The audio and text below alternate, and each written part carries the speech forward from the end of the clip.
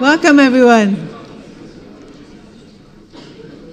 It's a really great pleasure to open this spring's lecture series with Bjarke Ingels, here to share with us the work of his practice, Big. There are few architects who need less of an introduction than Bjarke today.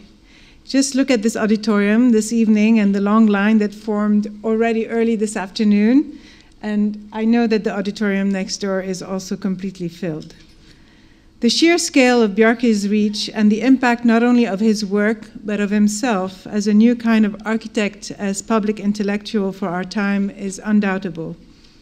Whether you're a fan or a critic, no one can remain indifferent to where Big has taken architecture and the discourse on cities today. You cannot deny that the practice has become one of the most influential architectural practices in the world. And so to introduce Bjarke this evening, I thought I would share some more personal notes that dive back a little in time. I first met Bjarke in 1999 when we were both recently hired as junior designers to work for the Office for Metropolitan Architecture in Rotterdam.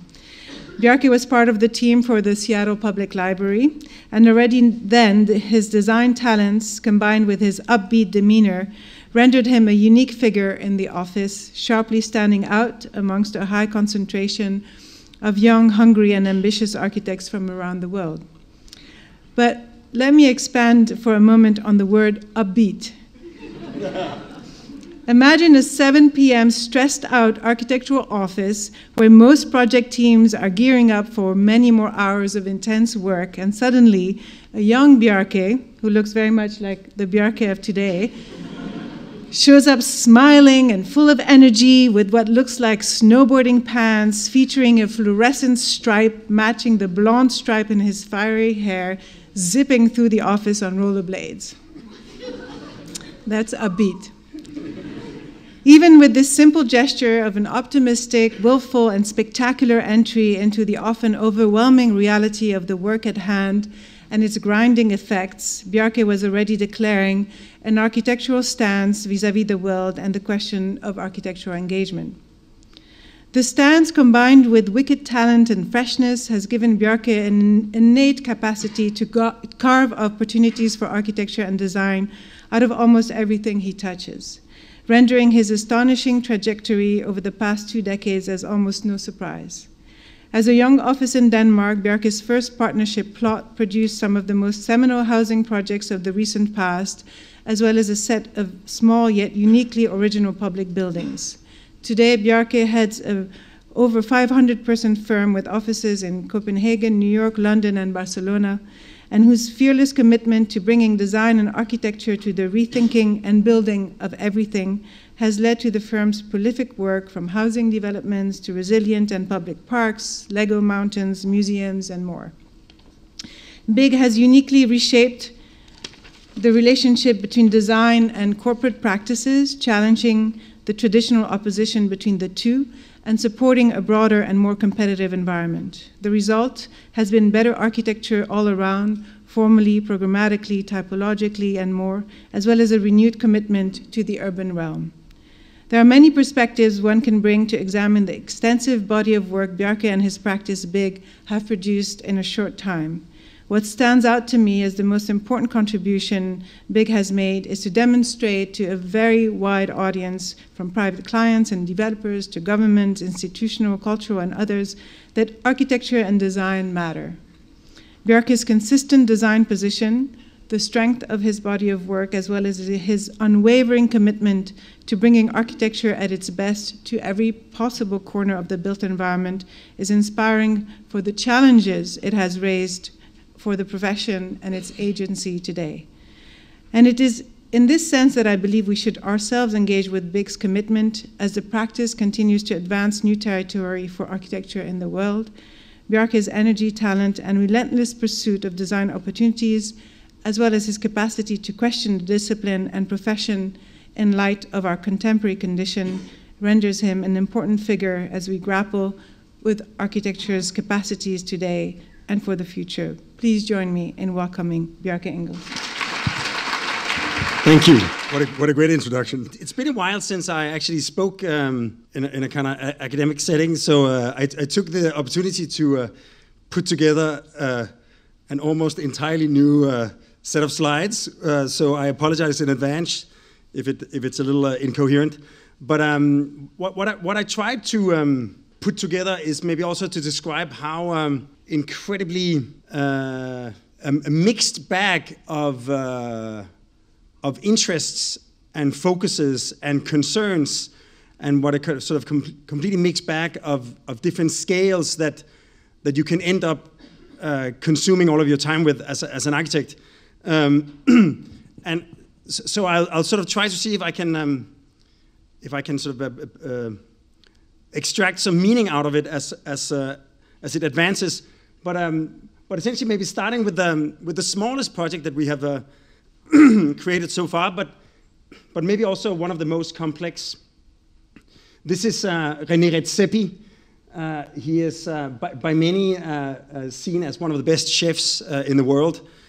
He pioneered um, the kind of regionalistic cuisine with his restaurant Noma, in, located in, in Copenhagen, where he sort of pioneered this idea of actually, in, in, the case of Noma, which is short for Nordic food, Nordisk mad in Danish, Noma, um, that he kind of rediscovered the Nordic landscapes, uh, the flora and fauna of, uh, of Nordic nature, and, and, and sort of returned the attention to see how that, those, those plants and those animals could actually be uh, seen as haute cuisine, because haute cuisine has been dominated by, um, by French and, and, and Asian cuisine.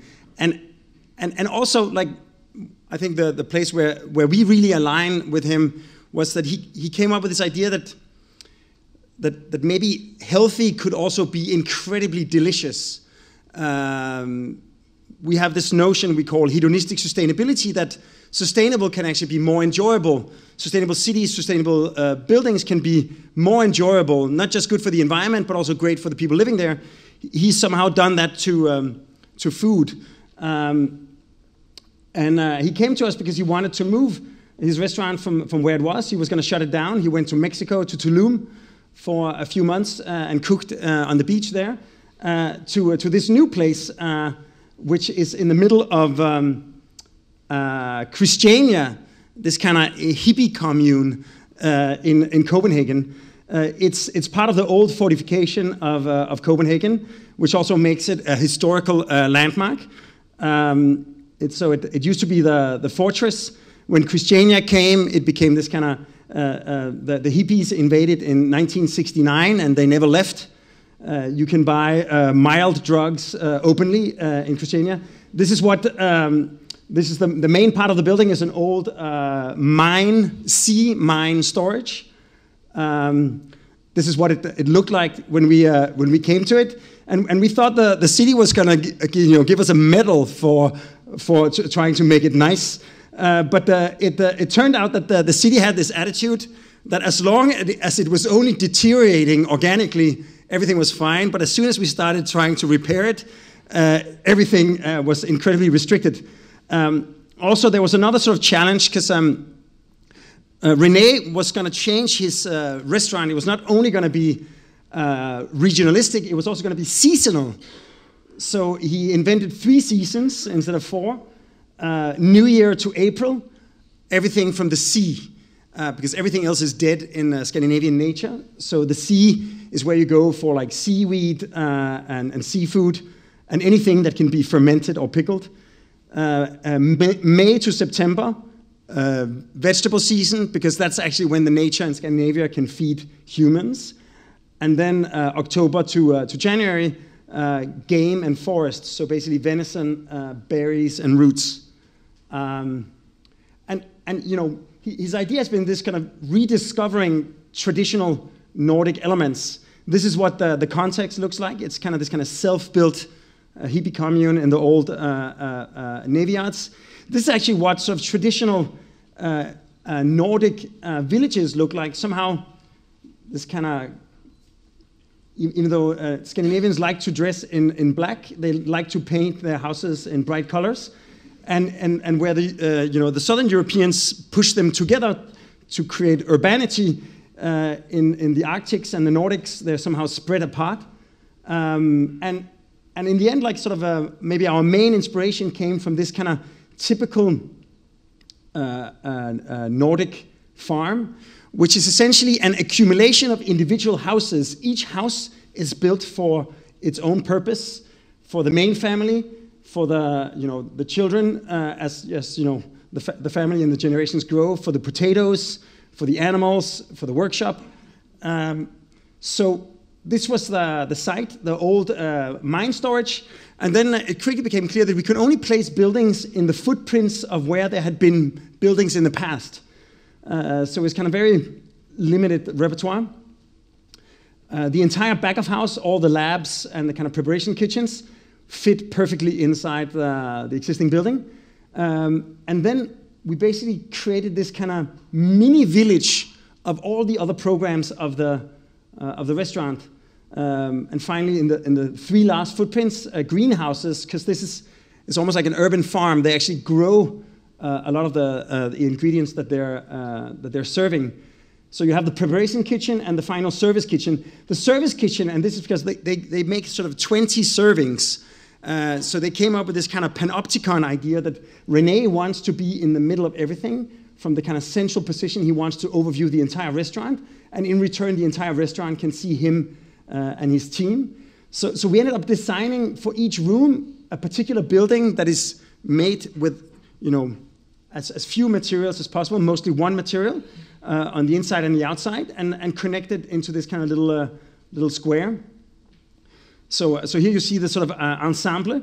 Um, actually, Piet Oudolf uh, has created this kind of incredible permaculture garden here in the front, where they grow a lot of the a lot of the plants. As you arrive, uh, uh, you're actually waiting to be seated inside the greenhouses. And then the experimental uh, kitchen where Rene prepares the sort of next season's dinner is, is on the way. And then you find yourself to this kind of little cluster of, of buildings. Uh, the first building is essentially uh, the entrance. It's, a, it's one big wardrobe, uh, a kind of wooden cabinet where you get rid of your, your coat, and then you sort of enter into this uh, central uh, square, if you like, um, covered by glass. Uh, like all the different buildings are protected from, from the environment. But, but one of the things that Rene was insisted on was that when you are a seasonal chef, it's very important to be constantly aware of the weather. If it's going to be cold tomorrow, if it's going to be wet tomorrow, what kind of ingredients you can get. A lot of the menu is actually only found by foraging because the ingredients have not been labeled as ingredients. So there's no farmer making it. You have to find it in the forests or the parks of, uh, of Copenhagen. So then the, the main building, of course, is the, uh, is the, is the chef's kitchen. Um, the entire uh, ceiling is, uh, is ventilation so that you can actually cook openly in the middle of, uh, of the space. You, It, it's the only building that doesn't have any walls. Uh, all the air is, is sucked out. Uh, the main dining uh, is made entirely out of oak, floor, walls, and ceiling. And in this case, so almost this idea like, like, like their cuisine that they use very traditional ingredients, but in a slightly different way. Here we stacked it, uh, the, the, the, the, boards, almost like a Joseph Beuys, um, this kind of solid stack of, uh, uh, of uh, oak boards. The, the entire facade can open up into the, into the permaculture garden uh, in the summer. Uh, light comes in from the, from the top, again, reminding you of the, uh, of the weather. This kind of solid, solid wall. The same material both outside and inside. Oak is a hardwood, so it can actually endure the outdoor weather. Um, as, you, as you move on to, uh, to the next, the, the, uh, the private dining um, is pine wood this kind of typical Scandinavian, uh, more pale uh, uh, wood, uh, also on all surfaces. The shelving is the construction. And again, you sort of take the, the nature on the fortification in.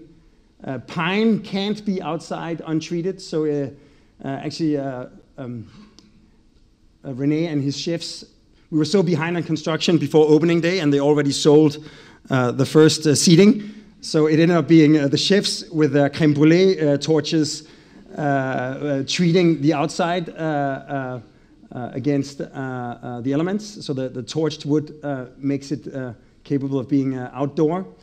the lounge, um, the fireplace is also the, the skylight. Um, it's like this kind of traditional Danish red brick. And to make it bright on the inside, it switches to a white clay brick. Um, again, working with the tectonics of, uh, uh, of brick, but in this case, sort of to, to also resolve that the, the window sill becomes the ceiling held by the, by the brick. And, and again, this idea that you can open up uh, the entire corner and bring, bring in the elements uh, uh, when the season allows. Um, and again, like the brick, it's the same brick that actually constitutes the, the ceiling, like a ziggurat, more like a, like a traditional uh, roof the, the grill, the barbecue is, uh, is, is like a ventilated, a cross-ventilated chimney so that the, the chefs can stand uh, uh in uh, as cold as possible uh, uh, with, with the fire. the waiter's room is almost like a cabinet with a, with a skylight. And then finally, the, the old warehouse, we just installed a, a gigantic shelf that sort of organizes all the different aspects, the different parts of the kitchen, the social spaces for the staff, and just cutting a single skylight in, uh, in the ceiling, but, but almost like this kind of trying to, to really take the entire sensibility and the entire philosophy of, of Rene and Noma and, and try to create a portraiture or capture the essence, what would be the architectural equivalent of, uh, of what, uh, what René has, uh, has created. Um, and, and, and of course, also, like I think um, a kind of powerful manifestation of this kind of idea of an urban ecology that, that this, this restaurant is in the middle of, uh, of, of, Copenhagen, uh, but actually the, the honey uh, is made there. Uh, uh, most of the ingredients that you're eating are, are, actually made in the middle of, of, the, of the city. And then across it, um, a radically different example of, of hedonistic sustainability and, and urban ecology uh, a project that we spent the last uh, nine years uh, making. This is, this is Noma. This is my houseboat. and, and this is, this is basically the cleanest waste to energy power plant in the world. Uh, Denmark has become a little bit of a, of a pioneer in the sense that only 4% of our waste goes into a landfill, 42% is recycled, and 54% uh, is transformed into district heating and electricity. As a power source, six pounds of garbage from your kitchen uh, turns into four hours of electricity and five hours of domestic heating. It's replacing the power plant in this photo right in the middle of, the, of Copenhagen. This is the opera, this is the Royal Theatre, uh, right next to the marina. And, and it was clear when we, when we did the competition nine years ago that what was mesmerizing about this was this kind of marvel of modern engineering that it was going to be the cleanest waste to energy power plant in the world. No toxins coming out of the chimney. So we thought maybe a mountain of trash could become an actual mountain. Uh, our nearest ski slope in Copenhagen is six hours away uh, in Isaberg in Sweden. We could put two thirds of Isaberg's main slope on the roof of the power plant uh, and so we did. Uh, this is what it looked like the, this spring um, before, uh, before opening. As you can see, there's still a little bit of, of vegetation uh, missing. Um, this is what it looked like uh, uh, in the winter. Um, so, of course, the, the kind of cliff face of the mountain is made out of these gigantic folded raw aluminum bricks that are actually planters this spring. They're going to be uh, uh, full of, uh, of green. Um, raw aluminum tilted so they actually reflect the surroundings so that the building changes color over, the, over the course of the day. Inside the mountain, you have the entire administration uh, overlooking the city. And then, of course, they, they look the city at, at one side, and then they overview this marvel of, of modern engineering it's also rather unusual because the entire power plant is actually daylit. 50% uh, of the facade is, is transparent. So you have the administration inside, uh, and of course you, you see the underside of the, of the mountain that is above. The elevator ride up to the top of the ski hill is looking into this uh, uh amazing space. Um, this spring, it's going to open the tallest climbing wall in the world, uh, 300 feet. Uh, the, I have no idea who's going to be climbing uh, this thing. Um, and of course, this kind of X-ray uh, at night. And of course, like the fifth facade, in this case, the roof is maybe the most exciting facade. Um, it has skiing, and, and the skiing is for free. It's a public park. If you want to use the lift system, you have to buy a lift pass. Uh, it's sort of designed to be able to sort of help spread um, vegetation to the surrounding uh, sort of post-industrial area. you have hiking paths, different kind of activity zones. You have uh, a kind of vegetation that changes uh, uh, over the course of the, uh, of the season. Uh, there's more than 400 different uh, uh, uh trees. And, and in general, it's, it's, it's almost like, like Noma that it's purely indigenous species. If Denmark had mountains, this is probably what, what, what they would look like. Um, also, the entire roof park uh, has been made for a budget of um, around um, $13 million, uh, which is absurdly uh, inexpensive. So, so everything has really been done with the, with the purpose of the least amount of, uh, of maintenance uh, uh, and, the, and the least sort of uh, acquisition cost. Um, maybe when I saw this photo, it dawned on me how insane it was that we were actually making a building with a ski lift on the roof. Um, and, and maybe the most sort of important material, because Denmark or Copenhagen doesn't have enough snow to be a, a serious ski destination. So we searched around uh, and we found uh, an Italian company uh, that makes this kind of uh, mat uh, that has the same uh, friction as a groomed slope. the only problem was that it was quite ugly. Um, also because because of the thermal expansion and contraction, it had to be split up in these, like, let's call it seven by seven foot squares. So we actually sat down together with the, the company, and in a course of a few months, we managed to develop an entire new product for them. And it's very simple. You have the old product on the left and, uh, and our proposition on, on the right. Simply by joining uh, every two circles in two different directions, uh, the sort of the basic grid goes from squares to rectangles with six knots, which means that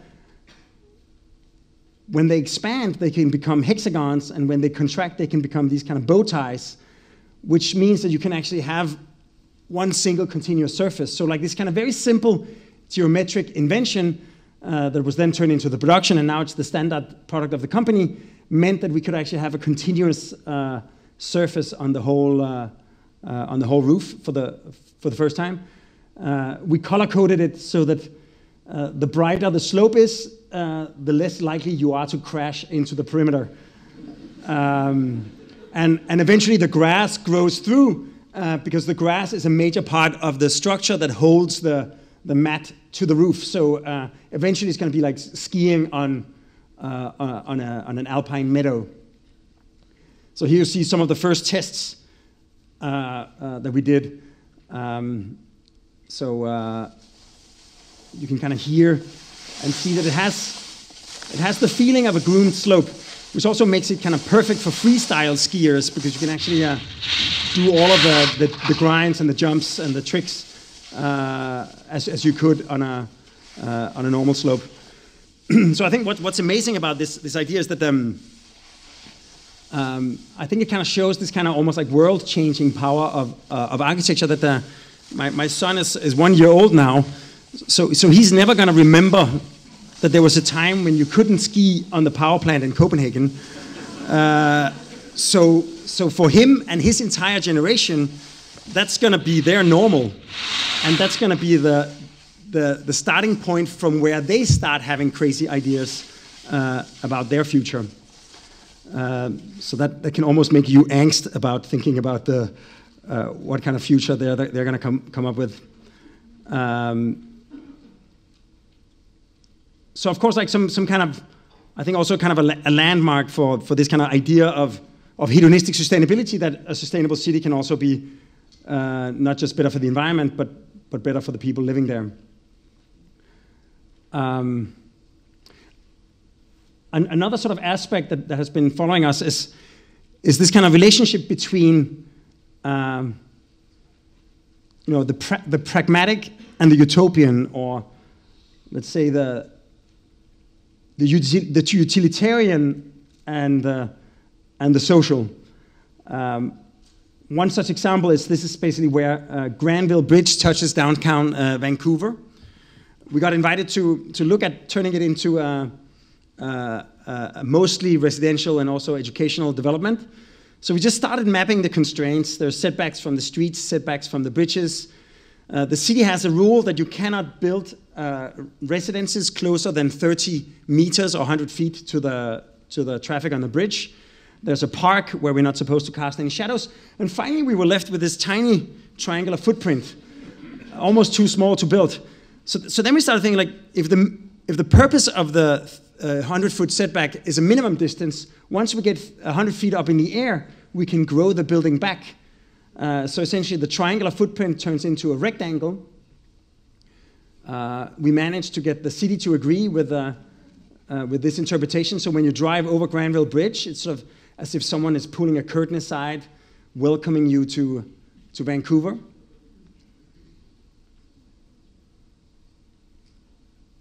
This kind of gradual overhang. Um, and underneath the bridge, uh, we worked with a series of, of, of local artists. You have uh, basically a university in these two triangular buildings that are wedged in between the legs of the, of the bridge. Uh, and then uh, Rodney Graham uh, uh, proposed to create, turn one of his video artworks into a giant urban artwork with this gigantic chandelier that basically is, um, sort of ro rolls up and then sort of twice a day it sort of drops and spins uh, dramatically uh, uh, down above the, the main street.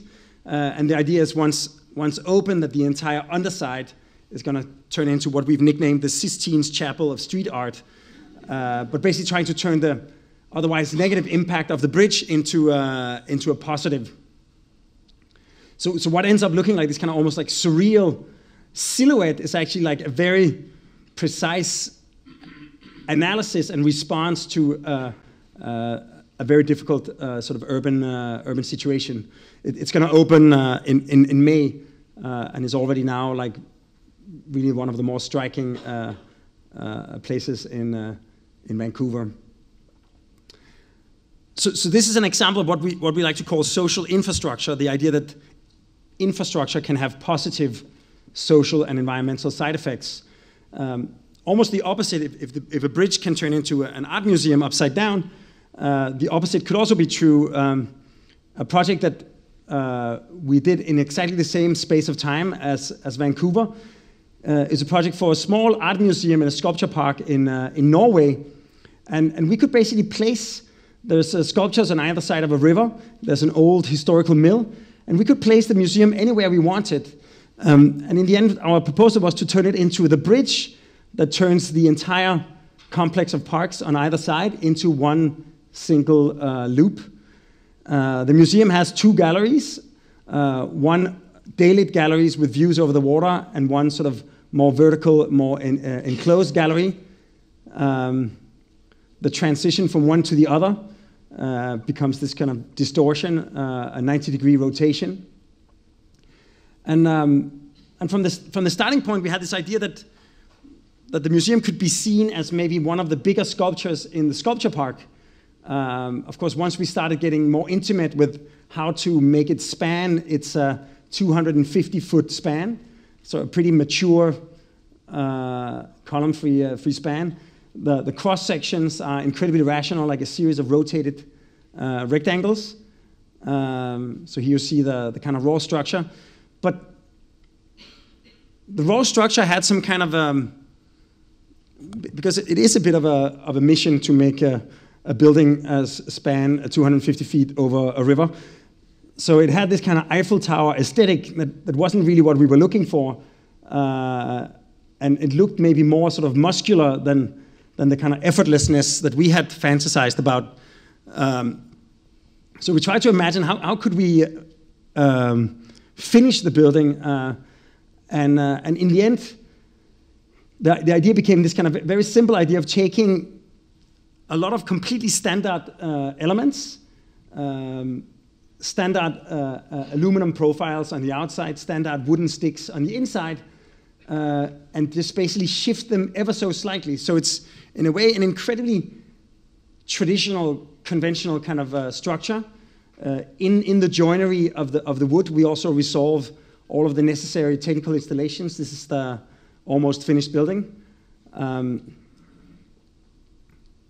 and, and, and like very classic kind of Norwegian wood carpentry uh, that ends up creating uh, this kind of very, very precise uh, complex geometry, sort of a hyperbolic uh, paraboloid, uh, as the as the as the floor turns into the to the wall, it, it reveals a, a gap that becomes also the, the ventilation, uh, the sprinkling, the, the light installations, the security, everything that makes it a contemporary art museum is, is also integrated in this kind of very rectilinear logic. So even though you see curves uh, and arches everywhere, every single element in the building is, uh, is completely straight. So, so, somehow, like in a way, trying to hack the kind of conventional, traditional uh, building techniques that are available to create something, uh, let's call it extraordinary out of the ordinary. And here you see how the, the skylight zips and, and turns uh, the more vertical part of the building into uh, completely introverted. And here you have this kind of spectacular view over the, the river and the mill.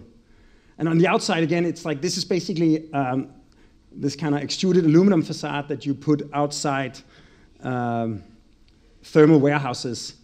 So, in a way, the most conventional, traditional kind of barn, uh, but again, uh, put together in a way that it describes this kind of uh, acrobatic uh, geometry.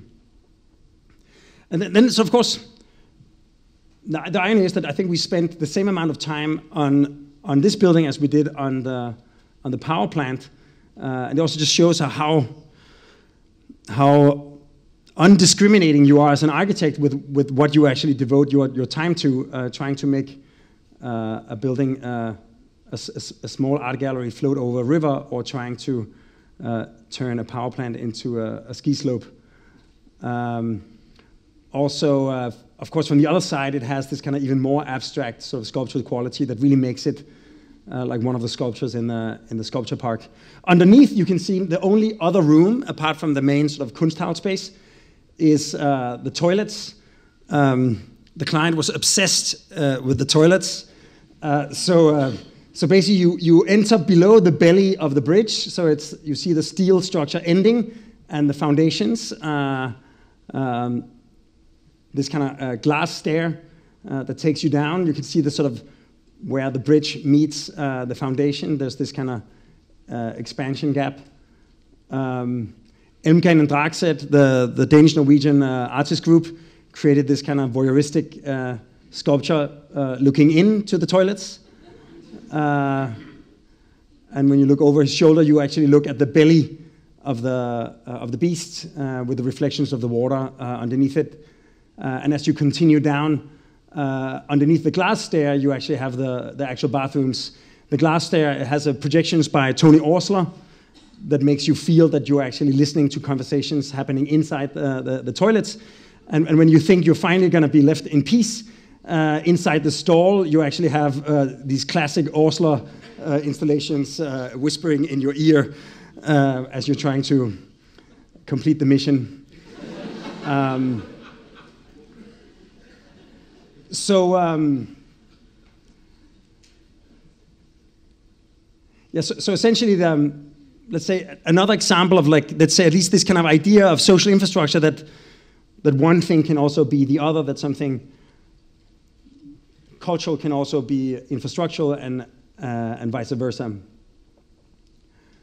Um, and, and, and then, of course, like maybe speeding up a little bit, like so, uh, so even though I, I, believe that we, we come to each project with a kind of consistent attitude because so much is discovered in the process that the, the conditions are always so different, uh, what you have to respond to uh, is so different that it ends up creating rather different um, vocabularies.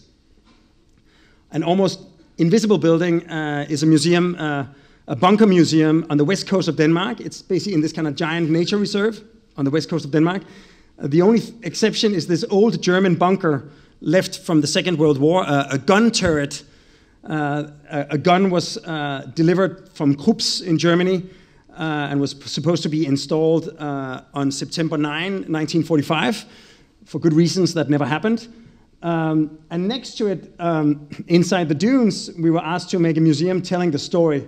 Uh, and because it's an entirely listed landscape, uh, our proposal became to make these kind of very precise incisions um, and almost imagine the opposite of the bunker. If the bunker is a heavy uh, artifact in the dunes, uh, the museum became uh, this kind of light absence.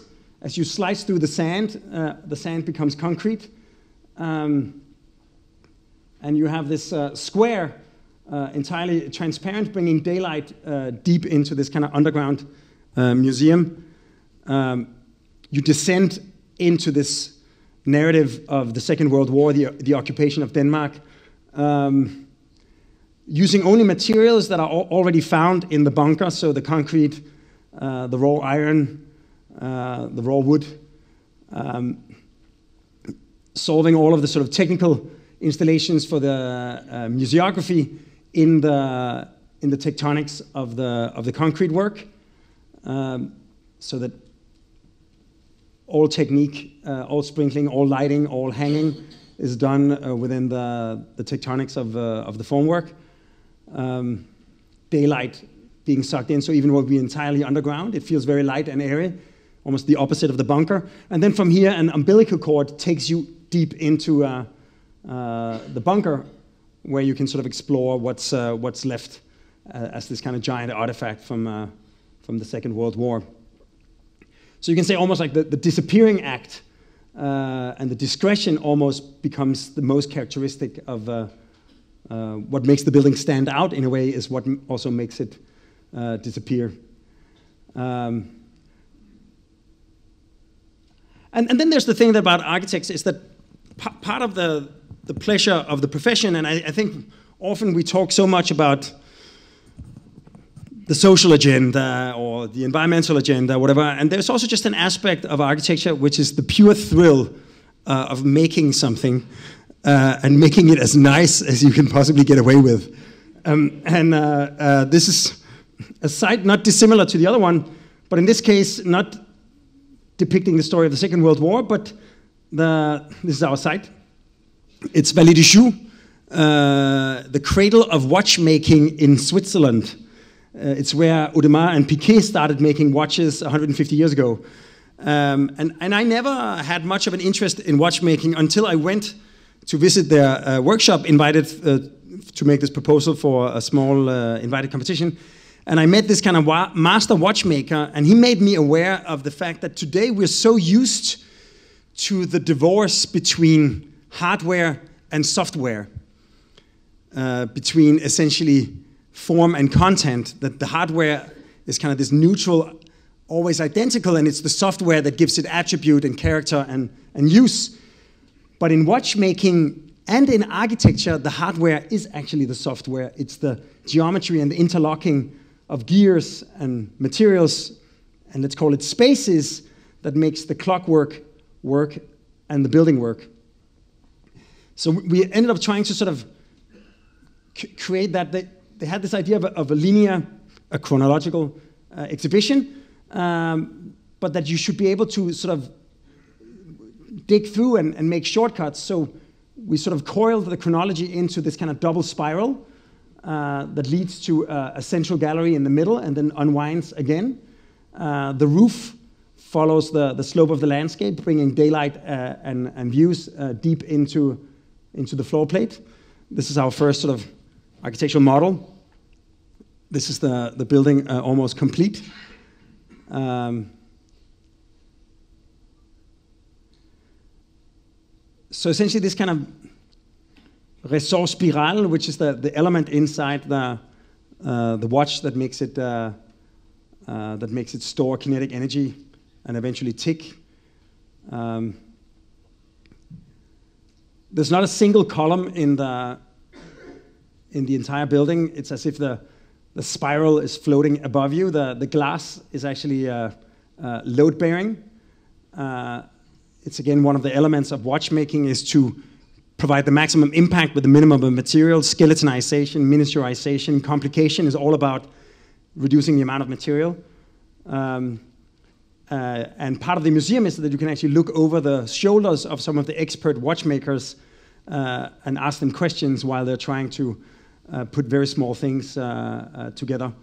Um, and of course, at any time, you can jump from one uh, part of the chronology to the other. So here you have this kind of almost surreal experience where the, the entire roof seems to be hovering over your head.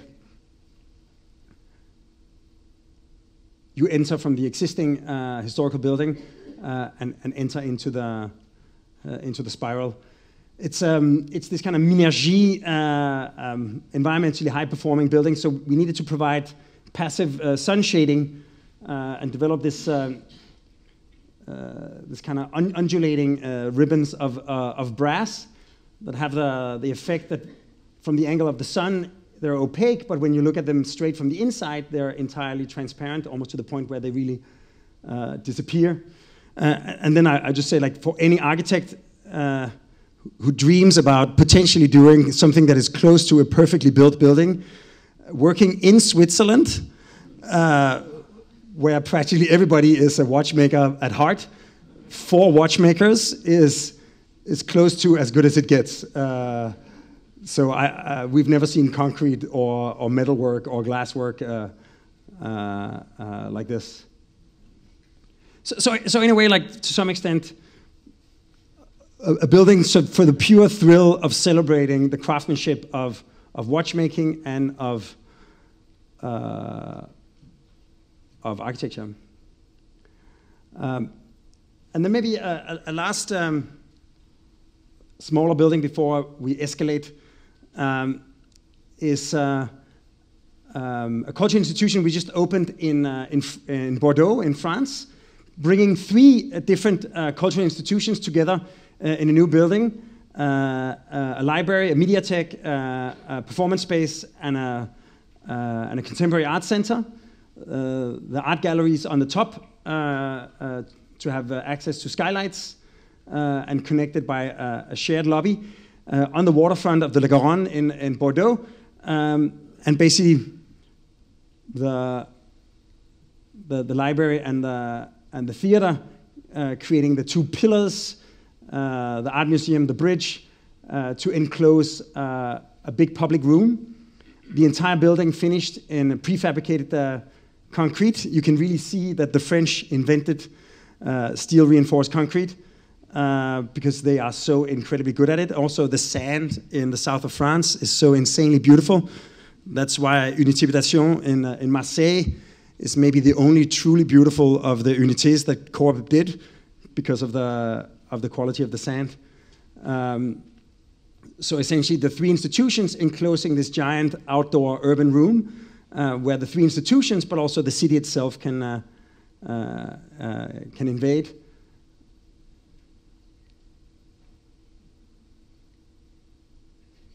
On the inside, it's basically a 150,000 square foot building with a $40 million budget, uh, which sounds completely ridiculous by New York standards, but it's still pretty ridiculous uh, by European standards. So uh, we had this kind of positive side effect that all the finishes inside are so insanely raw. Uh, it's basically uh, it's basically concrete. Uh, um, in, in, in, in different shades. Uh, for the opening, Benoit Maire, a local Bordeaux artist, made this uh, head of Hermes that is sliced so exactly where the void of the building is pushed out to create a big public room. the, the sculpture is also absent, so in a way, the, the most exciting part of the sculpture, the most exciting part of the building is, is what's not there. and then inside, there's almost like Le Corbusier level of raw finish. Uh, even the furniture is cast out of concrete, uh, some of it tiled. Um, there's a periscope from the lobby uh, that looks up. So here you're actually standing uh, at the bottom looking up at the people. So you can kind of see it's a, it's a giant sloping mirror that allows you to see what's happening on the square above you. Uh, the ballerinas can look out over the, the square and vice versa. Um, actually, at the opening, uh, there was the first demonstration where they said, um, congratulations with the cultural building, but what about the two and a half thousand homeless in Bordeaux? So it was clear that I think in the first 24 hours, I saw you know, a, a couple making out, the first skaters, of course, arriving, and the first uh, demonstration. Uh, the theater, again, uh, this kind of mosaic of tarred wood, uh, um, hot rolled steel, and black concrete to create the, the perfect sort of acoustic uh, mix. And finally, this kind of art barn at the top, uh, and a sculptural park looking over the city, but essentially in this kind of very sort of simple building, the, the main gesture being the sort of the, uh, providing this kind of new shaded and covered outdoor space for, um, for the cultural life of the city. Um, so, so then sort of, I'd, I'd, like to finish by like escalating a little bit in, uh, in scale and maybe uh, impact. Um, one project that we've spent the last uh, year and a half on is for a new uh, baseball stadium for the Oakland A's. And Stadia, this is their current stadium. And this is typical for Stadia. It's like these kind of massive venues in a giant sea of parking that are only active a few days a year. Baseball, arguably, much more than uh, any, any other sport because there are so many games, uh, roughly 100 uh, in a year. Um, but we thought, what if, what if this new stadium could really be the, the, the kind of foundation for the cultural life of the city, what if we could bring the ballpark back into, into the park? And essentially, baseball started in parks, and then at some point, a guy got the idea to build a fence uh, around the park and, and, uh, and charge tickets. Uh, so we thought, what if we could somehow bring the park back? So instead of this kind of enclosed stadium, what if the main concourse was actually Main Street?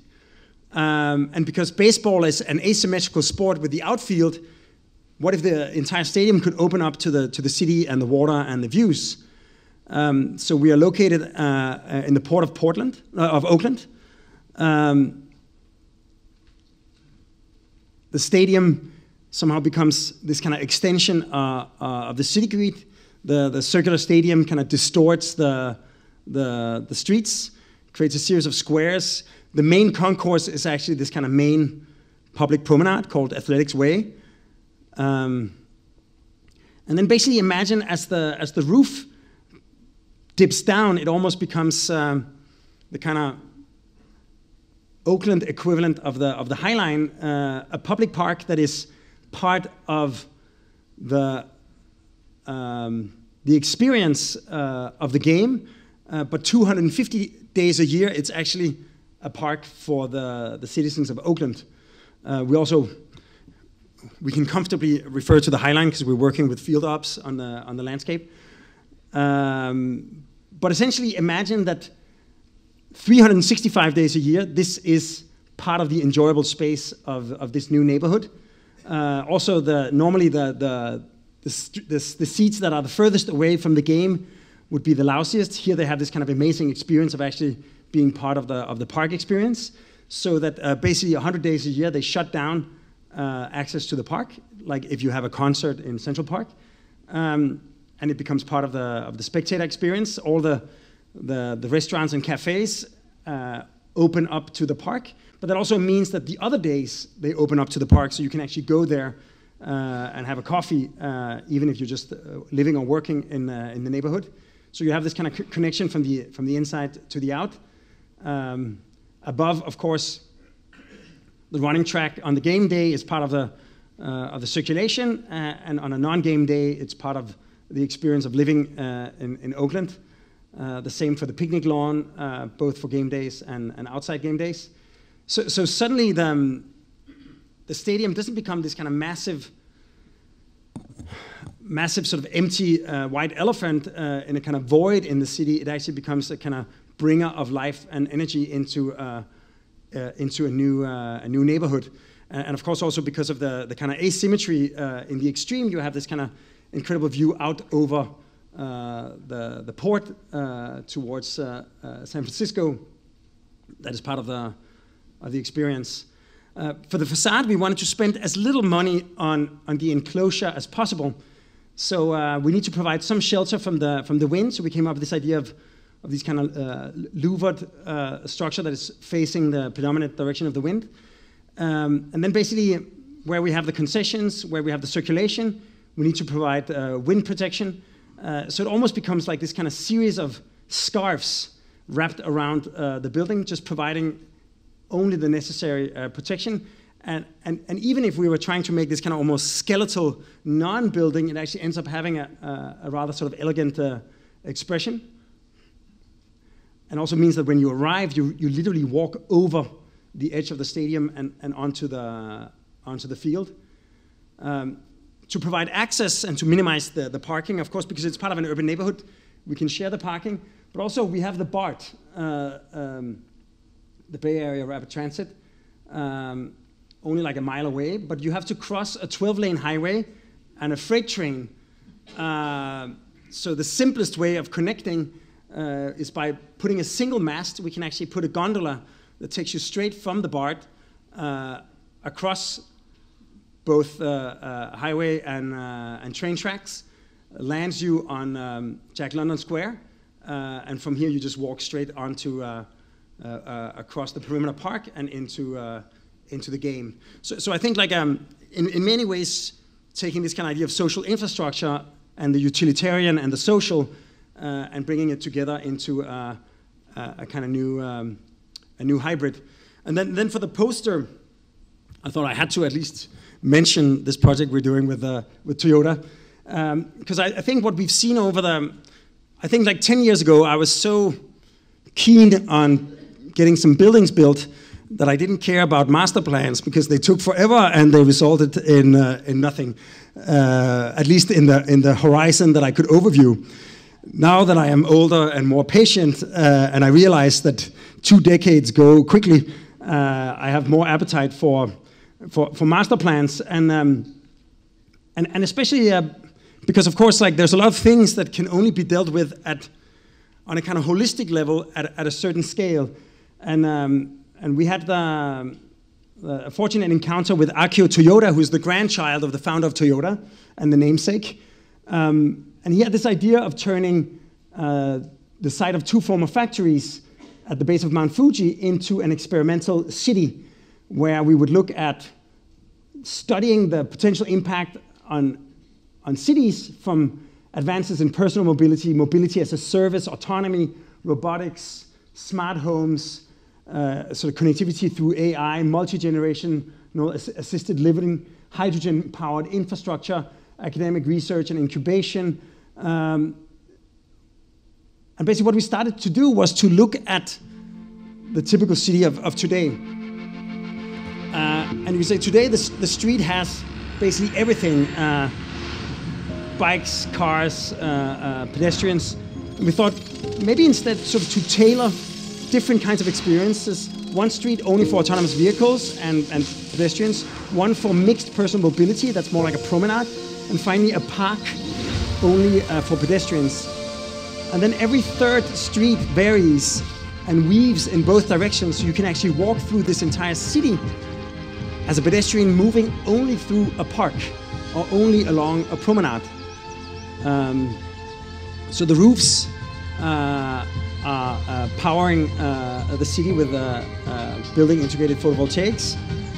And then basically all these different intersections between the three different kinds of streets allows Toyota and collaborating companies to test uh, the Toyota Connected City Traffic Management System.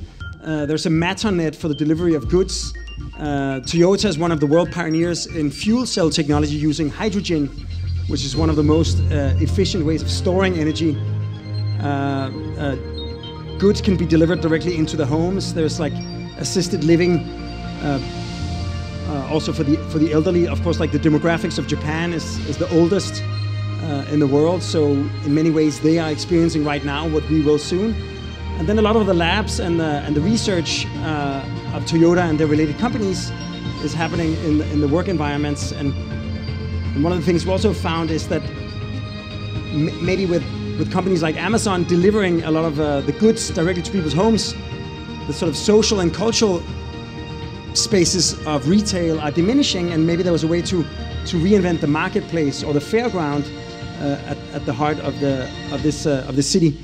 Um, so, of course, this is a, this is a very kind of high level um, uh, introduction, but, but the basic thinking is by purpose building this kind of first uh, uh, woven city um, around this kind of module of, of the three different kinds of ways of moving that are interwoven. That means that the street gets very different social and cultural qualities depending on what kind of street it is. Having this kind of modular system of every nine uh, block being uh, uh, an open uh, uh, sort of uh, public program, and then with the possibility of scaling some of the public programs to become larger elements. Um, not only can we actually conduct this research in a purpose-built environment, but you can also apply the same pattern onto, in this case, Barcelona, New York, or, or Tokyo. So it has a lot of sort of general applicability that means that what the, the kind of experience we can harvest uh, uh, at the base of Mount Fuji could potentially uh, uh um, be, be taken, uh, taken elsewhere. So um, maybe as a, as a kind of last uh, endeavor. Uh, of course, all of these um, projects are terrestrial. Uh, and uh, over, over the last uh, two, two and a half years, um, we have uh, been increasingly interested in, in, in, in, in, looking a little bit beyond um, to, to the point, and I, and I think it's maybe also maybe a word of advice, like, because we started saying this to each other, I think three, three years ago, that we, we, we, felt that it would be amazing if we could build uh, on another planet than Earth. Um, and then by saying it to each other and being more and more serious about it, um, this, uh, this uh, December we got um, selected to build a spaceport for the Norwegian government uh, on the Arctic Circle. So uh, if you tell each other and everybody else uh, the story long enough, eventually someone bites. Um, but, we, but we actually started by working for the um, we were working with Hyperloop One, uh, the kind of Elon Musk founded uh, uh, supersonic vacuum tube magnetic uh, levitation train, uh, and, and got introduced to the Ministry of the Future in Dubai. Uh, and they asked us to look at, at creating a human colony on Mars. Every two years, Mars and Earth are the orbits are aligned, so you can actually get to um, to Mars, according to Elon Musk, in, in three months. Um, that's the same time it took 500 years ago uh, uh, to get from, uh, from, um, from Spain to South America. Uh, so, and it didn't stop the Europeans from going to the Americas. So, um, uh, also, one of the things about Mars is that it's, it's a relatively temperate planet. Uh, on a nice summer day on equator on Mars, you have 80 degrees Fahrenheit, which is like a Danish summer. Uh, Gravity is 38%, so a 100 pound person would weigh 38 pounds on uh, Mars. It's a three month diet that's more powerful than anything. Uh, uh, and then the miracle is that Mars and Earth has the same seasonal tilt. So you have the same seasons. They're only four uh, twice as long on Mars because the year is twice as long. And then the miracle, for instance, if you would move to Mercury, a day lasts 175 days. So when the sun sets, it's almost 90 days before it rises again. That's a long night. Uh, on Mars, it's the same, only you can snooze 40 minutes longer every morning on Mars because the day is 40 minutes longer, which means that the, the kind of bioclock we have and every living organism has is very adjusted to Mars. There's no uh, magnetic field protecting from radiation. Uh, it's half the diameter, but the same amount of real estate because they have no liquid oceans. Um, and we've been going to Mars, uh, so we know a lot about Mars. Uh, we've looked at the craters, we've seen dried out archipelagos, landslides, dust devils. Um, so we have good knowledge about Mars. And actually, uh, one of the miracles, the, the, blue planet and the red planet, uh, but because of small particulates in the air, where our sunrises turn red, the sunrises on the red planet actually turn blue, which is something I hope many in this room will one day experience personally. Uh, there is, if you remove the biosphere from Earth, like in the Atacama Desert in Chile, it looks very much like Mars because it has very much the same uh, uh, uh, uh minerals. And we started just like looking a little bit at Earth. This is in Tunisia. What looks like a lifeless desert is actually a dense, lively community where this kind of um, troglodyte houses carved out of the rock create a more sort of stable environment protected from uh, the, the rays of the sun uh, and the fluctuation of, of temperature. Uh, and of course, another example is Kangerlussuaq in Greenland, in the Arctics, uh, the igloos using the insulating uh, uh, aspect of ice and the sort of efficiency of the spherical form to protect from, from the environments. So there's a lot of great things. There's a few problems remaining. There's too much radiation for humans, very low pressure, uh, cold temperatures, no breathable air, and no ready-to-use water. Uh, and also, we can't bring too much. Uh, I think by the most optimistic estimates, it's going to cost $6,600 to bring uh, two pounds of goods to Mars. Um, this is what we need. Uh, so basically, we need to somehow combine the ecosystem to sustain human life with the ecosystem to su sustain plant life into one integrated ecosystem. So we just started looking at what we have. We have regolith uh, that you can sort into uh, ice that gives you water, basalt stones, fine sands, you can make bricks, uh, ceramics, uh, concrete. You can sort the fine sands into silica, aluminum, and iron oxide, among other things. You can make aluminum, glass, you can make uh, uh, uh, technology, photovoltaics. With photovoltaics, you can make power. With power, you can run electrolysis on the water. You can split it into hydrogen and oxygen. Um, together with the CO2 of the Martian atmosphere, it's like 93% CO2.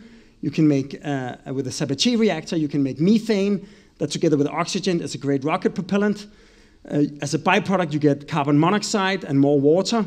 The carbon monoxide with the iron oxide, you can make steel.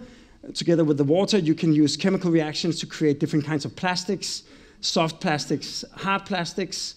Uh, with the soft, of course, everything needs to be recycled because everything is so incredibly valuable on Mars. Uh, with the uh, soft plastics, we can make inflatable membranes that we can make biodomes for growing plants, for root zone gardens, uh, for leisure, uh, for aquaponics, hydroponics, uh, for agriculture, and finally we can sustain human life using only what's actually available on Mars.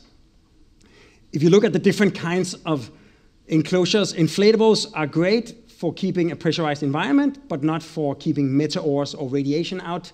3D printed structures provide more protection, uh, not enough. And finally, excavated structures uh, with seven meters or 20 feet of regolith is enough to protect you from uh, the radiation. So none of them work on their own. Combined, they actually tick all the boxes. So imagine creating inflatable membranes, digging, excavating material, you use it to 3D print, and then you just have to regulate how much time you spend in the different degrees of exposure. But we found that a typical American only spends 8% of the day outdoor, so that should be uh, uh, okay. Uh, and then, of course, they can combine and grow until you have a, uh, a city. Uh, as part of the experiment is to begin in an environment uh, in the desert uh, outside Dubai that looks like Mars, but is a little warmer.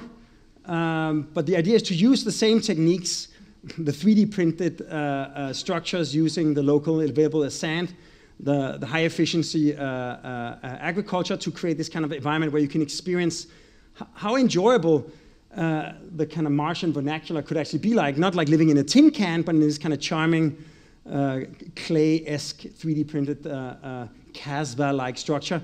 Uh, actually, water is a better, is seven times better shield against radiation.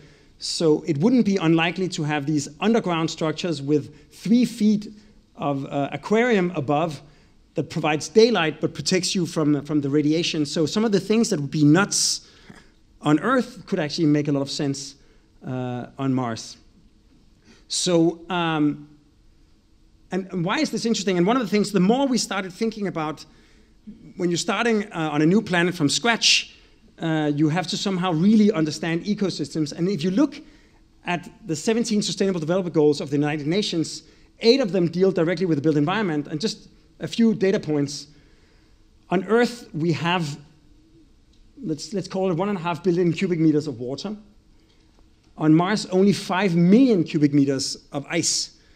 So you have to be so, it's so precious, the water on, on Mars.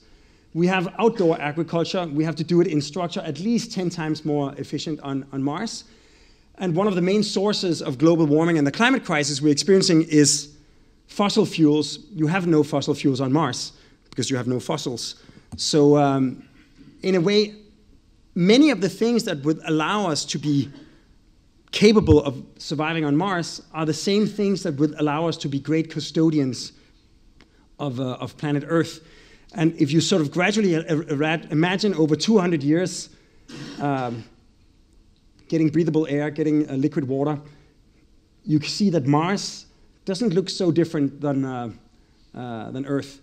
Um, and that basically brought us to uh, the last thing that I'd like to, to end with is that one of the things we've been thinking lately is that we seem to be so incredibly incapable of dealing with the climate crisis.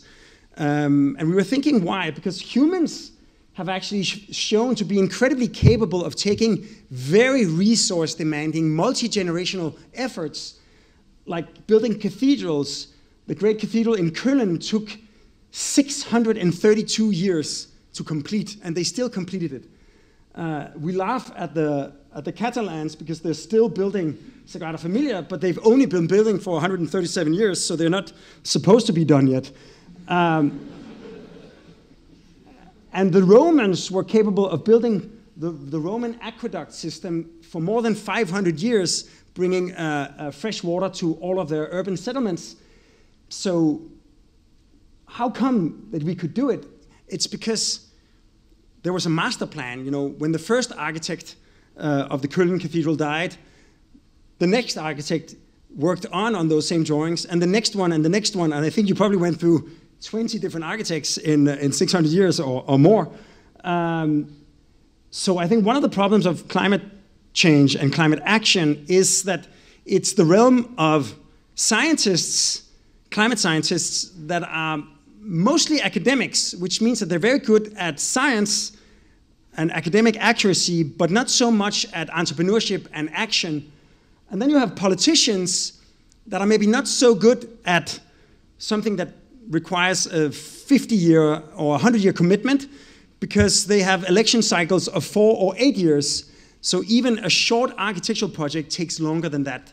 Um, so what we thought, what if we, because architects are maybe, we make master plans for buildings, for city blocks, for neighborhoods, for cities, for regions, even for countries.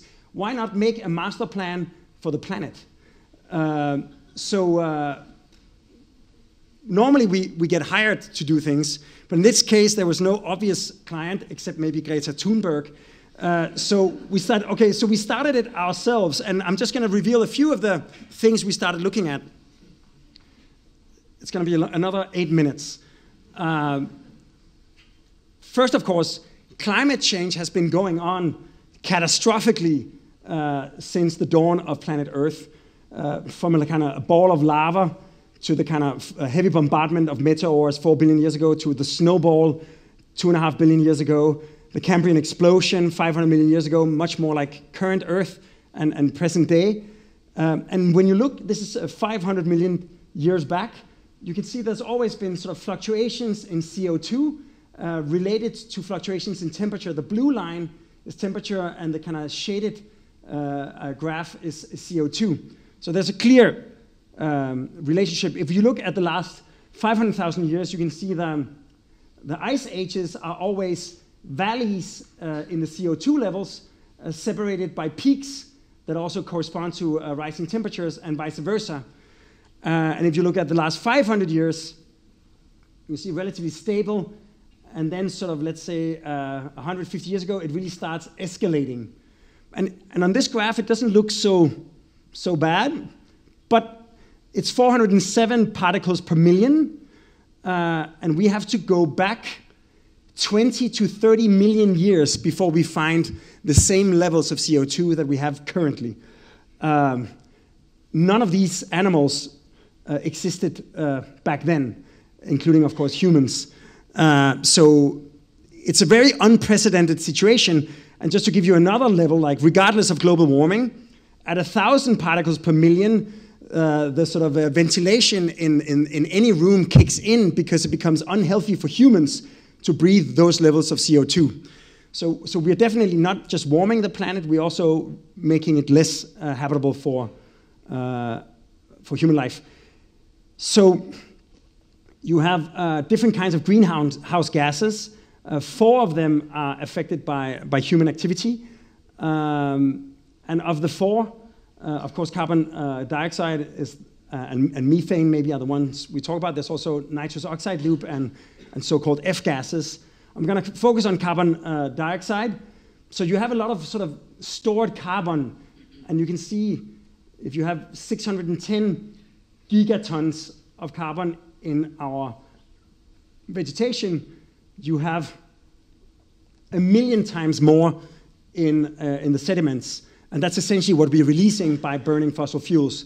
So you have two, two carbon dioxide loops. One takes millions of years, it's volcanic activity, that then becomes sequestered uh, in, in, rocks and sand and is then sort of sedimented on the ocean floors and, and is pushed back uh, through tectonic movement into uh, magma. And then you have a more annual loop, which is essentially living beings uh, um, uh, absorbing uh, CO2 and then sort of releasing it through respiration, decomposition, and of course human emissions. And currently we are increasing our CO2 emissions with 4 billion tons per year. Methane, a kind of similar loop, methane only stays in the atmosphere for nine years, but because every year we're releasing another 10 million tons, primarily because of rice fields and um, ruminant animals. Uh, it's also adding to the equation. And you look, 75% of the greenhouse effects is attributed to CO2, it's the biggest problem, 14% uh, methane, and the rest to uh, nitrous oxide and F gases. If you look at the CO2 equivalent, the F gases are really the, the worst sinners. They are 3,000 times more impactful than CO2. There's just a lot less of it. And if you want to look at how much carbon we're releasing into the atmosphere every year, it's, it would be a two by two by two kilometer cube.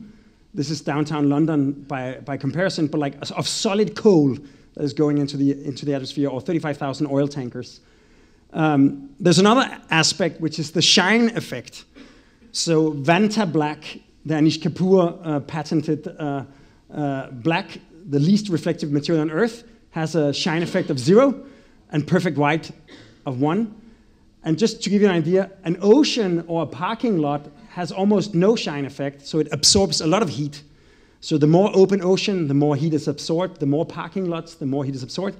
Whereas fresh snow has a really good shine effect. And to give you an idea how impactful this is, if, if Earth was all ocean, we would have an average temperature of 27 degrees Celsius. Today it's 15 degrees, so twice as warm as now. If a third of the planet was glacial, it would be frozen. So 1% of, of change in the shine effect of Earth is uh, the equivalent of doubling the amount of CO2 in the atmosphere. So it's also an important factor that right now works against us. Um, so what are our energy sources? We, we have four sources. The sun, that provides uh, photovoltaics, solar heating, fossil fuels, wind power, is all stored solar energy. Earth, geothermal energy, mostly because of gravity compression. The moon, tidal turbine energy, uh, mainly because of gravity. And then uh, nuclear energy from atoms.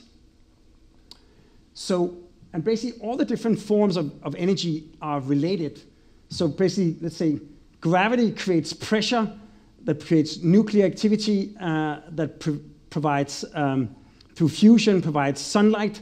Uh, through photosynthesis, sunlight is translated into chemical energy that can then be burned to provide heat that can with an engine be translated into kinetic movement that can then be turned into uh, electricity. And over the years, we've been sort of mastering more and more of these kinds of translations. And any kind of energy source is translation from one source to the other. So uh, a water mill or hydropower is gravity turned into kinetic movement and from there into electricity. Uh, uh, nuclear fission is nuclear energy translated into heat and from there into mechanical and electrical. Uh, batteries from chemical to electrical. Um, and if you look at the energy storage, for instance, batteries, which is a great thing, it's, it's not very efficient. Half a ton of batteries has the same stored energy as uh, five kilos or 10 pounds of, uh, of hydrogen, which is why it's, it's a very interesting energy source. Today, we spend 153,000 terawatt hours per year. That's our energy bill. A third roughly from electricity, then transportation and agriculture on an equal, and then construction and, and industry. Uh, and if you look at the energy sources, even though we have a lot of different renewable energy sources, the vast amount, like 85% of our energy, comes from uh, non-renewable. So you can see 200 years ago, we only had traditional biofuel, burning wood, basically. Then came coal, then came oil, then came gas, uh, and then you have then came uh, nuclear, and then of course you have the renewables. But of all the 15% of renewable, two thirds of it is actually just burning wood. So not at the end also actually leading to uh, CO2 emissions, even though you can argue that you can replant it. So then we started looking at how efficient are the different sources. We also looked at who's the biggest culprit. Today, this is basically China, the biggest culprit, Asia. But if you look at it historically, the last 200 years, the US and the EU have definitely contributed uh, uh, our share. And then we said, okay, so what, what's the job we have to solve? Don't worry, I'm not going to like solve the whole thing uh, in the next two minutes. but just to sort of illustrate the kind of architectural thinking behind it, it's not enough to provide 153,000 terawatts because we're going to be 10 billion people and everybody will eventually have the quality of life of Singapore, which is currently uh, the highest uh, living standard. So that means that we need to have 750,000 terawatts. Uh, if solar would be, and current technology for solar, we could provide all of that energy with this amount of PVs uh, or with this amount of uh, windmill parks uh, or this amount of nuclear, because actually you only need this amount of real estate for nuclear, but because of the plume exposure pathway emergency planning zone, and anyone who watched uh, Chernobyl on HBO uh, knows what I'm talking about, uh, it would actually be relatively inefficient in terms of space. Um, hydroelectricity, we don't have enough hydroelectricity or biomass. Um, also, there's the idea of planting forest to sequester carbon, but we would have to plant the entire landmass of Earth every third year to sequester enough carbon. So it can only be part uh, of a solution. If you look at the different renewables, They've all gone down, especially solar, massively over the last half decade, except hydro, which has gone up, maybe because of preservation and construction. Um, hydropower currently provides only 3% uh, of our power. It's, it's, believed that there's a, a, a, bigger potential, but not more, like not enough to provide the entire uh, uh, Earth. But 71 of the countries on Earth could actually be delivering European living standard with the amount of hydroelectricity they have uh, available. But just to give you an idea, uh, the biggest hydro station in the world, uh, uh, Churchill Falls in Canada, uh, provides, you could provide the same amount of energy with solar with a much smaller area. Wind power only is 0.6% of the power on Earth, and you have a, a very large untapped potential. Mostly closer you get to the poles, the more uh, wind power potential, especially offshore. And of course, solar power, uh, again, uh, the, the, the, the, brighter, uh, the more potential. Uh, and if you look at since the 70s, the price has gone drastically down. So solar is really, of, of all the different sources, wind and solar seems to be the best ones. And then you have this thing called the intermittency, intermittence problem, This is looking at the UK in January. A lot of wind power, somewhat irregular, and not so much uh, um, solar power, and only in a very small time space. Uh, in the same in UK in June, you see much bigger uh, solar potential and much lower wind speeds. So that, that becomes a problem. If you look at it over the year, you have this kind of almost inverse uh, graph. And you basically have two cycles uh, the kind of seasonal cycle and the 24 hour cycle. Uh, and the 24 hour cycle also varies over, over the year, uh, winter and summer. Um, so if you cut it at where you say you have minimum six hours of peak solar uh, in, the, in the winter, um, that gives you roughly 99% of Earth's population lives within uh, this zone. Because of the, the radius of Earth, you never have more than 10,000 kilometers to the nearest sunlight.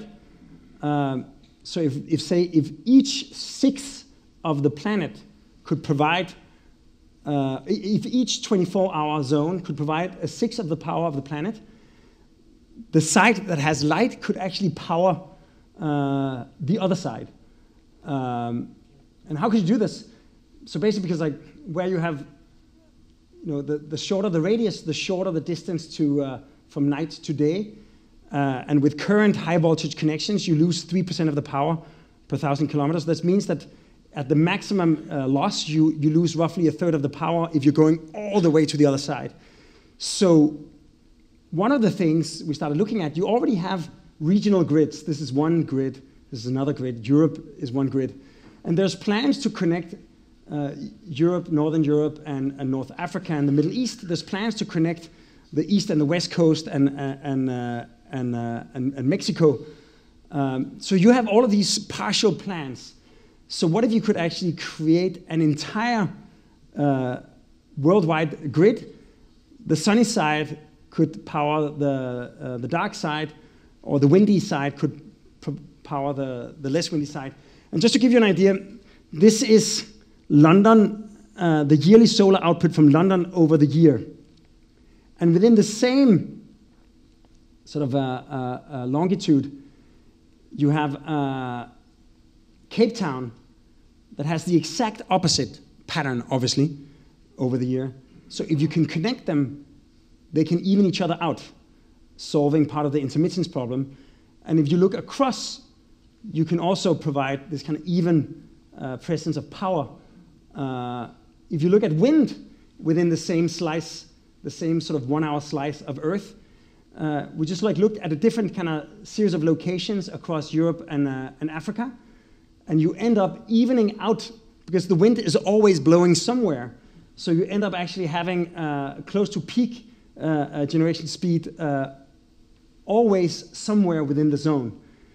So maybe this kind of seasonal cycle and 24 hour cycle, this kind of grid could unite us all energy wise. And then, of course, there's the Pacific uh, that we haven't solved yet. Um, and maybe just like a few data points, and, and then, and then I'll, I'll let you go. Of course, we have to look at everything. So we started looking just at water. This is how much water we have on Earth if it was like a ball, because um, the oceans are very shallow. And if you look at all that water, very little of it is fresh water, 2.5%. And of the fresh water, very little is surface fresh water, 30% is groundwater, and like two thirds is glaciers. And of the surface fresh water, 3% in the atmosphere, a quarter of it is in all living things, uh, humans included, H- half a percent in rivers, uh, 6% in soil moisture and swamps, 20% in lakes, and again, two thirds in ground ice. So basically, water is salt water and fresh water is ice. Uh, in the last hundred years, we six times doubled our consumption of, uh, of water. Four trillion cubic meters of water every year. Um, most of it goes to agriculture, and of the agriculture, most goes into uh, meat. And we are getting increasingly uh, dry zones. And the bad news is that it's expensive energy wise to desalinate, for instance, if we would have to desalinate the increase uh, uh, of, of, water consumption to reach 10 billion people, it would be 20% of our current uh, electricity supply. And then, of course, looking at pollution, just to give some, some vulgar facts, every hour we produce a pile of 38 meters. This is Burj Khalifa, and this is the cone of plastic bottles. Uh, every day. And every month we can bury the tallest tower on planet Earth in a cone of plastic bottles. And when you look at the flow of plastic, the vast majority is discarded after a single use. Um, a good part of it is still in use in different components. The stuff that gets recycled quickly gets discarded again, and then a small fraction becomes put to sort of more constant use or incinerated for, for the energy value. If you look at the sources of energy, the vast majority of the mismanaged plastic is in uh, Asia Pacific. Uh, the global river plastic input to the oceans, massively Asia. If you look at the 20 biggest river, rivers, it's basically Asia and a little bit of Nigeria and Brazil but really Asia, and massively packaging. Uh, so these are the sort of mismanaged pollution hotspots, and these are the outlets into the global oceans, creating this kind of uh, distribution because of the currents of plastic, uh, where the biggest patch is the Great Pacific Garbage Patch, uh, which is becoming a, a, massive issue.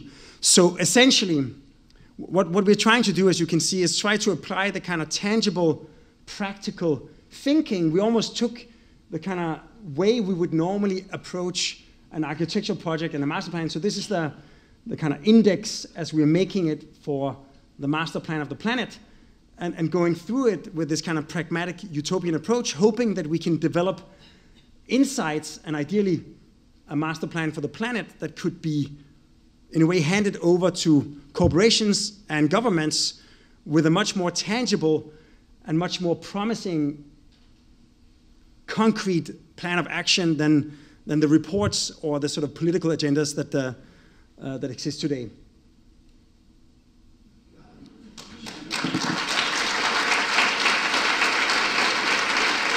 Thank you, Bjarke, for making things very easy for me to respond. I'll keep it short, and I, am sure there are many, many questions. But I, you know, I just wanted to um, maybe retrace a little bit the lecture and, and really open it up uh, pretty fast where, where you left us. Uh, you know, you opened with, uh, you know, beautifully designed small restaurant where you showed the details in every corner and there was a notion of vernacular and I was like, okay, taking on bigness and starting with scale and um, and then and then you know the projects are are you know fantastic, uh, but it also really feels, and I think that's been sort of um, your signature as a kind of strategic thinking thinker uh, as an architect. There's a kind of repertoire of strategies, right? The, the vernacular, the twist, is a, you know, I think that's trademark. Uh, um, landform, you know, whether it's it's it's it's the bridge or the then you have the wedge and um, and and and it's it's clear that the sort of complexity that one very architectural complexity and pleasure that you find in the restaurant with the materials and the kind of aggregation and you know you, you sort of get rid of slightly as you scale up. I mean, it, it, it, it you know, there's a kind of singularity to the, to the gesture, and, and I'm thinking, okay, there's a simplicity also that, that sort of uh, um, um, enables a new form of complexity, and, and in a way, uh, what you're conquering is not so much architectural form or a sort of narrative about architecture, but uh, the excitement is in bringing architecture to new programs, to finding new typologies, to right there's this sort of territorial um, expansion of architecture's capacity, and uh, and and almost, um, and this is where the kind of urban realm comes in, you know, you, you, uh, where um, you almost sacrifice architecture um, as architecture for what it does to the urban realm, for what it, you know, what you call social infrastructure, for what is what it not, what it enables. Um, and I was thinking about the last utopia in this country, which is new urbanism, uh, which sort of declared that in order for us to um, address questions of uh, um, you know, walking and livability and density, etc., we had to sacrifice architecture as an as an object of focus, and and you know, doesn't matter what style it is or whatever, you know, it's okay. And I, and I and I think for me, and I mean this very positively, um, there's a sense of if we need to leave architecture behind, uh, you know, um, we should. Um, and and then and then there's this kind of cut with the and you you you, you almost get excited yourself. Okay, I can do all these strategies. I can provide architecture. I can provide solutions. I can do it. Like, okay, now let's you, you actually use the term let's take off, right? We, so it's a kind of like, okay, now is there is there a real challenge? And then, okay, there's the Toyota Smart City, and I'm thinking pragmatic utopian or utopian pragmatism, and you're like, okay, this is getting into utopian dystop- dystopic uh, proposition. I mean, you're thinking about the smart city as also a city that is about control and surveillance and, and all these happy people are, you know, I wouldn't want to live, I wouldn't want to live in that city under the... Just wait and see. Yeah, yeah. I, I, we're already in it and yeah. it's very scary and... Um, um, and so I'm, for me, that's a kind of parenthesis. But, but then I, I think I think the assertion of the, the, the reassertion and the faith in, uh, of the master plan, you know, I mean, we are here in a academic setting with, where the master plan has been murdered and murdered over and over again for all the uh, dystopic condition that it produced, the uh, exclusions, the conflicts, the, uh, the sort of segregation, the, the power structures. I mean, this is always a result of the master plan, and, but you reassert the master plan, and I, I think that um, it, it's kind of very interesting. I, I, guess where I'm getting at is, is and, and this has been also part of your power as an architect, is kind of to dust off to say, okay, well, we can't, you know, just stay in that space of criticism, and and and, and maybe we do need, a, you know, a master planet. And I think the the passion and you, you know as you as you sort of deployed this this blueprint for the planet, you know, um, um, towards the end, it almost be, becomes believable. where, where, so where are you taking this? I mean, I, I where are you taking this? Uh, and and throughout your work, you suspend a kind of political. You, you present yourself as a kind of a, a you know a contextual, apolitical kind of architect, uh, and and and you know obviously climate change is not we're not addressing it not because we don't have the technology and not because we don't we've had it for a long time. Uh, we've known this is coming for a long time. We're not addressing it because of because we don't have the political will because of power structure because of politics because of governance um, um, because because of the west. Um, you know so so what do you do with a master plan? Who's your audience and and you know, I, I think it's it, you know it's it's, it's so. Uh, I mean, as as it, as it thickens, I think it's very interesting. I just I just and I'm not. What is what is your hope? no, no, exactly. It's, it's, a, it's so. a, good question, and I, and I also like uh, it's it's very early days, uh, but but like, but maybe you found your calling, is what I'm saying. Like you're, you're like I think that's the realm where I, I see your passion and no, but I, I, I definitely think that the, because it, it, it came from the fact that the, as architects we're so used to waiting mm-hmm. um, for someone else to ask us to do something, and uh, so, to the point where we're almost unable to do anything out of our own energy, right? So, so, so um, and and we just because of um, we, we did a kind of very significant study for Mars. I just showed the kind of the tip of the iceberg. We, we did an even more in-depth study for uh, a potential lunar base. So uh, we, we, did a study for floating cities with the United Nations. Um, so, so we've looked into a lot of this kind of more and more complex holistic thinking, and and we began to feel a little bit that why uh, why does the discourse around climate change remain so you know like like even the people that are supposed to be the activists all they do is in a way complain about the inaction. Uh, and there's a limit to how much you can march uh, yourself out of the problem. Like you can demonstrate you can make a lot of uh, billboards uh, and you can you can but you can walk all the way to the white house and back again but what we really need is a, like a, you know a kind of a kind of blueprint or a kind of you know a kind of project schedule or something like. So we so we were just beginning to think because because we do I do feel that in, in, a, in a way that the, what I tried to show by starting with with Noma and ending with the whole planet is that of course the level of detail diminishes except there's the, the, the, the level of complexity does problem, not right? but but one does not rule out the other.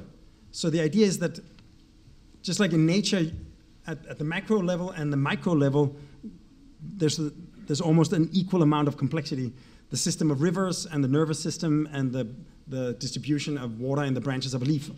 Um, you can see like so, so, but but the ability to apply yourself at either scale uh, and i think like you're saying, the master plan has been this forbidden thing because there's a lot of examples of, of also because often it becomes this kind of unifying aesthetic that has been applied at the wrong scale. So it's not really understanding systems or complexities or relationships or flows, but superimposing a kind of universal aesthetic. And, and that's, that's, that's not at all. We're, we're trying to really understand the, the ecosystem that we've inherited and try to see if we can, in a, in a way, deal with it um, like, because you can apply architectural thinking at the scale of a piece of furniture, a restaurant, a city block, a city. Why not a planet? No, I, I think you're making that clear. um, and, I, and I think you're making a, a clear case for architectural thinking um, both its pros and its cons. I think you know what it what it puts forth and what it what it leaves behind and what it can handle and but it's it's also interesting to note that today the level of urbanization that is occurring um, in, in places like China and, and, and the Middle East, etc., are, are part of the problem with, with climate change, right? The rapid urbanization, you know, that, that many of your the master plans are enabling is also so anyway, I don't, I don't really, um, uh, I guess my only question or, or my only um, uh, concern, let's say, would be that um, I'd be curious what Greta Thunberg would think about your master planet, you know, or um, uh, in terms of, I, I, I think it I find it very difficult today to be engaged as an architect as if we are operating in a kind of political void in this moment. And so that's what I find interesting. Yeah, actually, yeah, we've been having some um, conversations about this. You know, I've, I, I rarely declare any kind of political affinity, but I find that I am often uh, much more in the middle than many of my friends. Uh, and definitely much more in the middle than the political landscape right now, which is so, uh, you know, I'm not fragmented. And, and, and one of the things that yeah. I I'm not asking for your no, no, but your, I, but, um, your, your, personal politics. I'm saying that no, but I'm, I'm actually going to do it that because you're looking at a lot of the plans that you're looking at a lot of the large scale infrastructural plans that you're looking at were the result, right, of a certain political will at, at a certain scale. Yeah, but I, but right? I think so, the, I mean, interest, the interesting look, thing is. You can't fantasize about that level of architectural empowerment without, you know, at least acknowledging that they are the result of a certain political context. Yeah, but, but I think the, what, what you find is that when, when on the wow. on the political spectrum, when you go towards the extreme. Hello, hello. Yes, hello. Are you interrupting? Who is that? Uh, testing. God is testing. It works. Okay. One, two. It's, it's one, working. Two. No, I just want to say, like, the, the more you go on the political extremes, on the extreme left or the extreme right, or, or not extreme, but like the further, the, the more you are deliberately not including the other viewpoint. And I think one of the things, climate change cannot be solved with governments yeah. only, and it cannot I be solved understand. with companies only.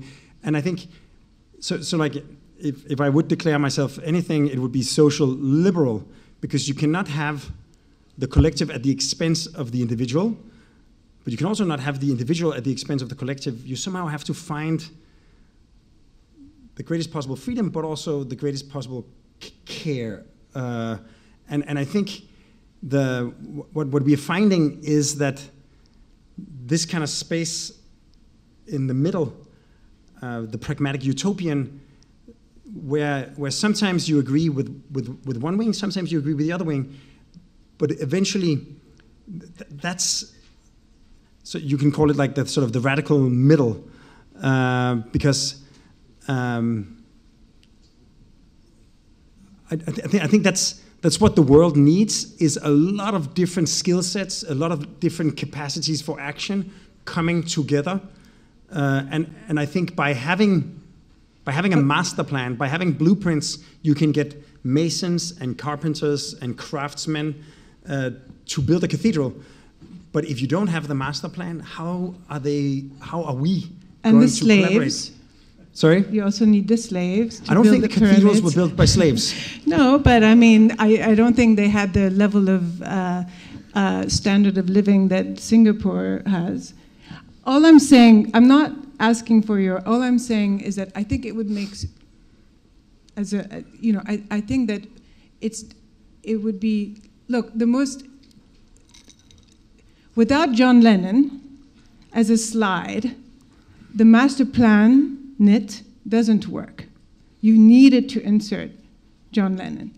So I'm just saying that I think as architects we can project, and I think we can project more than form. We can also situate uh, our architectural desires. We, you know, we're imagining also societies, you of all people. Uh, and I think that I miss that dimension, which I know you have and you bring in your project. So the kind of narrative that you brought to the restaurant, where you had this relationship to the chef, who had the relationship to the food, who has, you know, the, the kind of subject of your architecture, I think could inhabit your larger work, and that would make it stronger. That's all. I mean, I, I just I miss I miss that scale of humanity that we find in your restaurant. It's, Exactly, but it's, it's, it's again, it's like you, you can't talk about the planet and then get lost in the joinery of the bricks. All you need is uh, John Lennon. All you need is to show the slide of John Lennon. yeah. That's all you need. Yeah, uh, there you go. Okay, we can open it up. Hi, um, great lecture. I have two questions. The first one is um, for the Mars project. Are you guys actually looking at like um, science fictions like Martian Chronicles to in, for inspirations? Um, my second question is, I can't help but notice that um, the way you set up your project is really similar to, reminds me a lot of SML XL. And my question is, do you think, and, and the smaller project, the, the more architectural projects have, like the skills, the skills that they require is quite different from the more uh, master planned projects where there's more imaginations or there's more research that's involved. And I was wondering if you think architects and design thinkers e eventually are going to be two different professions.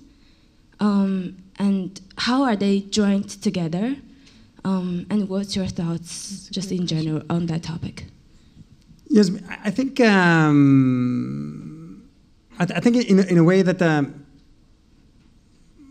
I, I, have this kind of when I was um, when I was younger, I had a kind of arrogance about a, uh, how you could that I, be, I believe that you could think your way to every, everything.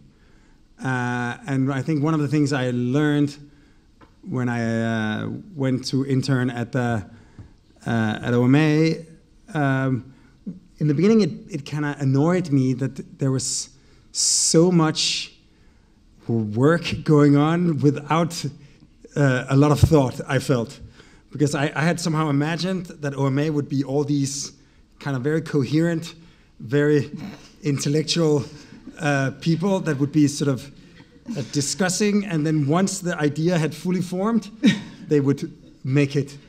Uh, and instead, there was, and I, I, remember I was almost shocked that, that one person came from Libeskind's office, one person came from Eisenman's office, and one person came from Foster's office, and I was like, "What the fuck are you doing at OMA?" like, uh, uh, and I, I, wanted to go work for Frank Gehry actually. so, so, so, you know, it was like I, I could, it, it, like it was not at all what I had expected because I had expected everybody to maybe be like me. I don't know, uh, uh, and uh, and then the work started happening, and there was no discourse. Uh, there was all kinds of random, you know, this and that and blah blah, uh, and and through the kind of sheer massive production of material, um, the possibility of discovering something more and more meaningful, and gradually a kind of discourse could mature out of it. Um, and I think in that sense, you need both halves of the brain the analytical and the kind of experimental, uh, the kind of action and the reaction. Uh, and um, but therefore, I also think that you can you can empower because it's a it's a constant feedback loop. So you can really empower the kind of tactile, sensual, sensitive uh, refineries with clear thinking, and you can empower scientific analysis with kind of tactile, sensual, experimental kind of longings.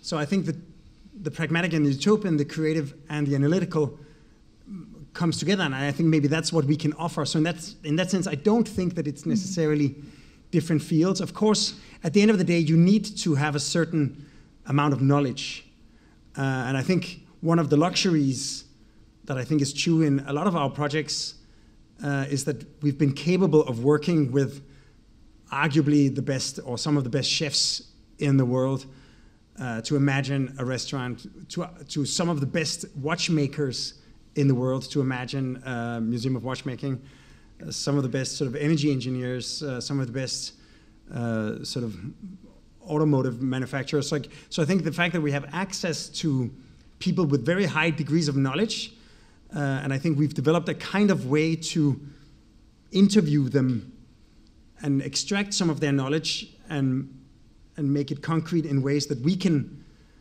use it. Um, I think that works at, at all scales. So, in that sense, there is a kind of inquisitive part of being an, an architect is to translate this kind of highly specific knowledge into something that can be put into action in the physical world. Just to go back kind of to this idea of utopia and dystopia, um, thank you for a very inspiring lecture. And you presented a series of projects, of very successful projects, um, all realized in cities of the global north.